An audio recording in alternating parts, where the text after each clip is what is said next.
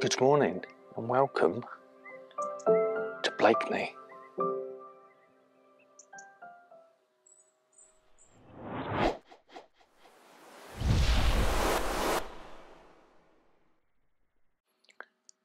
Good morning. It looks quite light to you, but it's about 45 minutes before sunrise.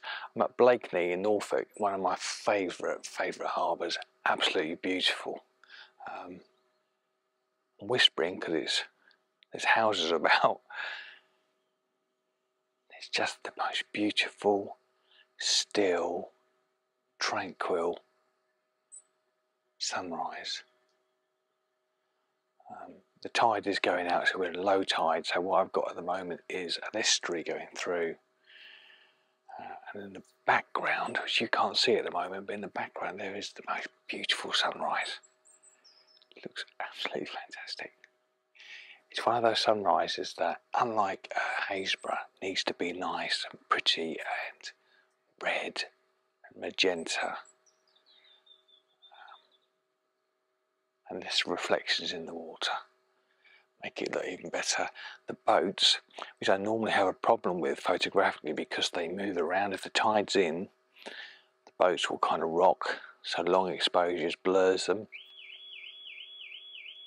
Someone's alarm's just gone off. um, long exposures will blur them, but when the water's out, the boats are resting on the on the floor, on the bed of the river and therefore they don't move at all so this is going to be perfectly still. That's not my alarm by the way. Right I'm going to take some photographs come back to you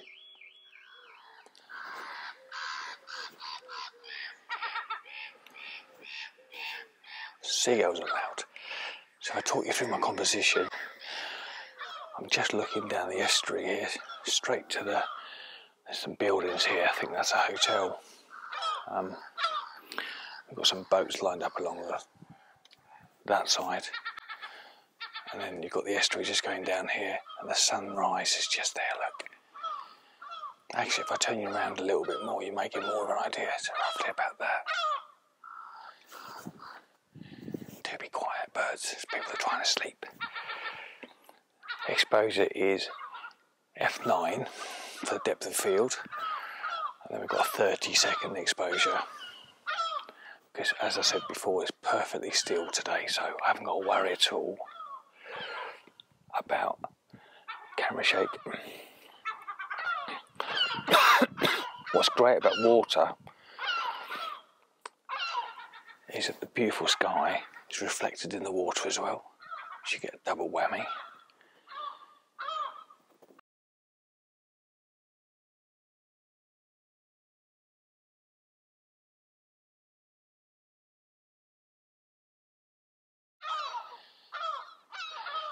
the weather forecast was very much for this. So if you look in the distance, we've got clear on the horizon and then clouds up above, and that is fantastically perfect for landscape photography for this kind of sky that we want. So I'm hoping this is going to be pretty spectacular. I could actually move um, further down here. There's a kind of a path, but it's a bit muddy. But I might go and have a look further down so I can get lower to the boats um, there's no real point going further along if I just spin you around. And there's a big walk behind me like that, which goes into the estuary. But in actual fact, I'm not going to get an awful lot more out of it than this. I mean, there may be the odd boat, and it may be that I do do that, but this is the main picture that I want to get today. So I'm just going to wait for the conditions to get even better if that's possible. But even if they don't, I've got a cracking shot from there already, and it's only half past ten to five.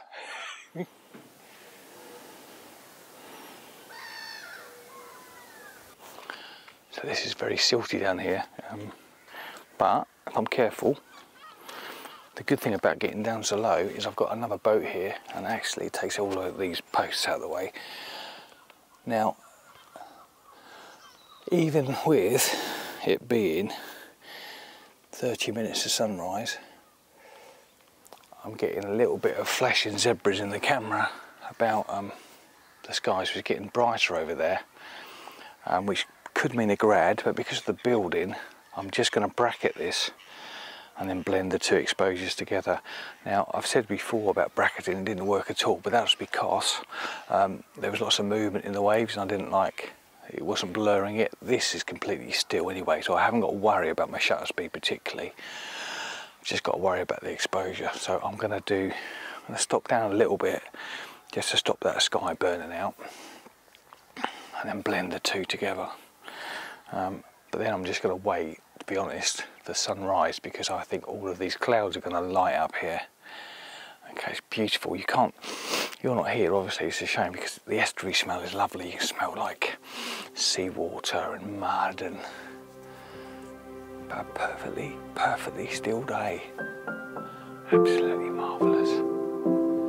Some of these boats are gorgeous. Let me show you some.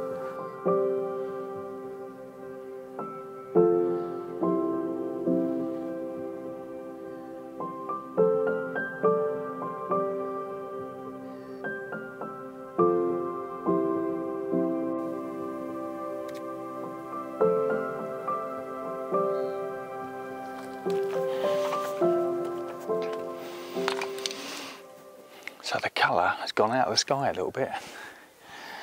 Um, 20 minutes to sunrise. It's got less bright, according to the camera. And those oranges are gone, but that's probably because there's some clouds. I'm hoping that what's going to happen is once the sun comes up a little bit more, all of the clouds you can see there are just going to light up. So now it's just a question of waiting and seeing what we get. There's some low cloud coming in. I think what's good about today is the high, there's no high cloud. Um, high cloud can normally stifle everything, but low cloud just makes a really good subject. The composition is almost 50-50 because I'm actually, um, the reflections in and the, and the sky are kind of balancing each other out, but I'm going to probably going to put the top bit of the, of the sky in the top third of the picture eventually as long as I don't cut the bit the hotel out. Um, but a 50-50 composition works just as well here, in my opinion. Again, I can't believe how still it is. It's getting lighter now. I can actually start to see things. You can walk down the estuary, and actually with the drone, it's quite nice as well. Um, you get some nice pictures, so I might fly the drone for a bit, and uh, long as it's not too noisy, it'll be out right over the estuary. I don't disturb the birds, but it's not really nesting season. Uh, even though the seagulls are not going to like it very much, we should be okay.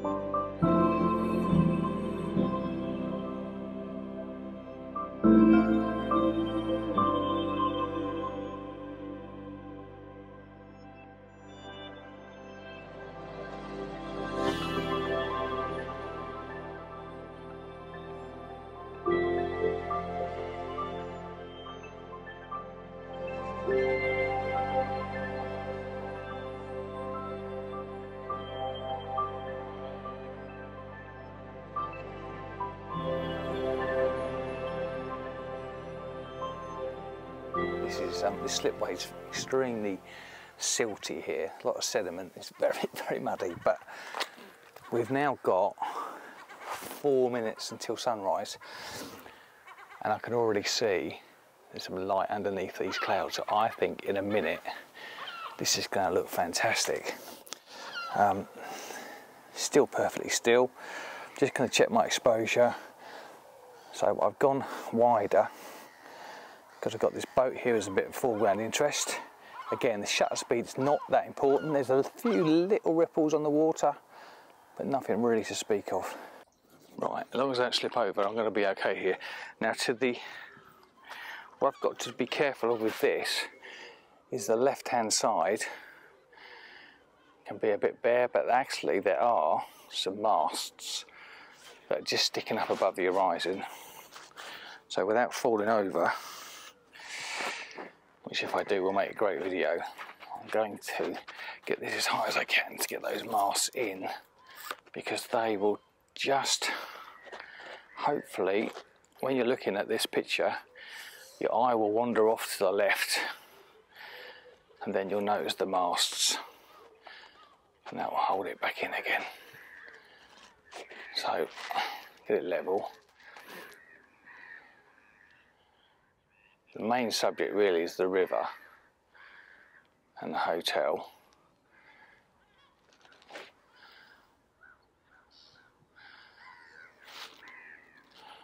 Tilt it forward a little bit. So what I've got now is more emphasis on the boat at the front here she's called Rosie. Don't want that post in because it will disappear off the top. We've got F14 which is too much really start getting diffraction. F11's fine. 1.3 seconds. Check the focus. Check everything's tight which it isn't.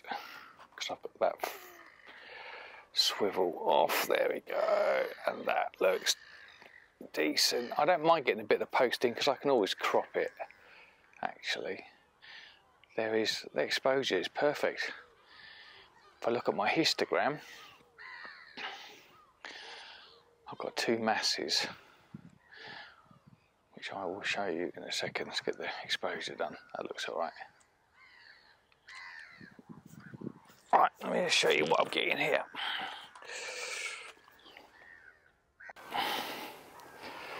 So if we look at the histogram, I could just use a compensation here, just to go up a little bit if I need to. So that's packed over to the right. I don't want to lose any of the highlights, but that's about as far as it needs to go.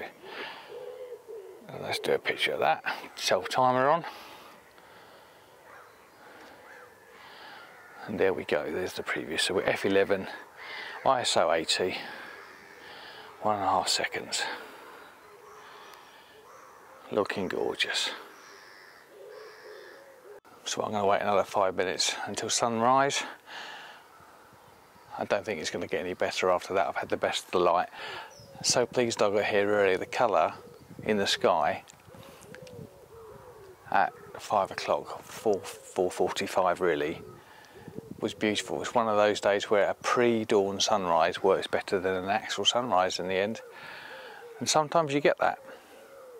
Sometimes you could be an hour before sunrise and nothing happens, but I always feel that you should be on site at least an hour before. Anything more than an hour before is a waste of time because um, there's no light whatsoever. But the light starts to appear about an hour before sunrise and there's nothing worse than being in the car and driving and seeing a beautiful sunrise and you're still getting to your location. So, um, if at all possible, it's good to get up.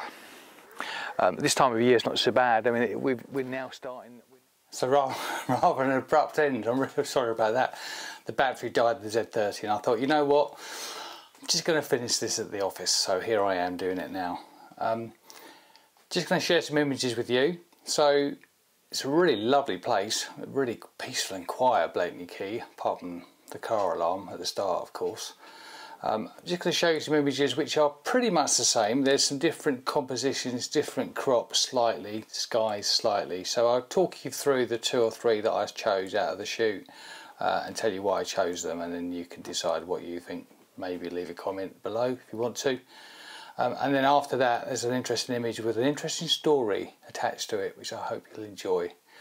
Um, so let's do that now. Here we go. So this is the first image that I took on the day. It's about three quarters of an hour before sunrise. Beautiful colour, beautiful sky. Uh, on the left to hold the eye, uh, on the right. The problem with this image though, and the reason it doesn't work so well for me, is I don't think there's a main subject. Uh, the eye tends to go into the middle of the picture and goes, what's it looking at? And then quickly loses interest.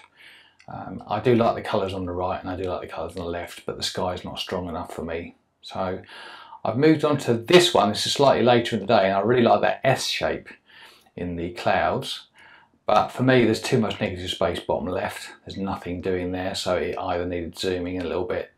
Um, I think I was looking at the mast to try and hold the eye from the left, and I got a bit sort of uh, carried away with that, I think. So I tried this. I put one of the boats that were tied to the quay in the bottom left-hand corner to try and just fill that negative space up. But for me, it competes too much with the hotel and the main scene. I don't know what I'm supposed to be looking at with this. So this is the main image that's going on my website. Uh, cropped in a little bit better. I, I don't think the negative space is a problem bottom left and I think the main subject is very clear. Beautiful sky over the top. So once the light had come up, got the long lens out and did a few shots just around the quay like that. Um, and this is the shot I was going to talk to you about. Um, I was only when I was processing it that I had a look at this and I thought, what on earth is that on the top right hand mast on the boat on the far side? And I zoomed in, it's only an owl, it's an enormous great owl. And I looked up and I thought it's either a long eared owl or a short eared owl, it's quite big. Um, but they were brown, so I put it in the Blakeney Facebook group. So anybody tell me what owl this is? Surely it's not a fake. And guess what?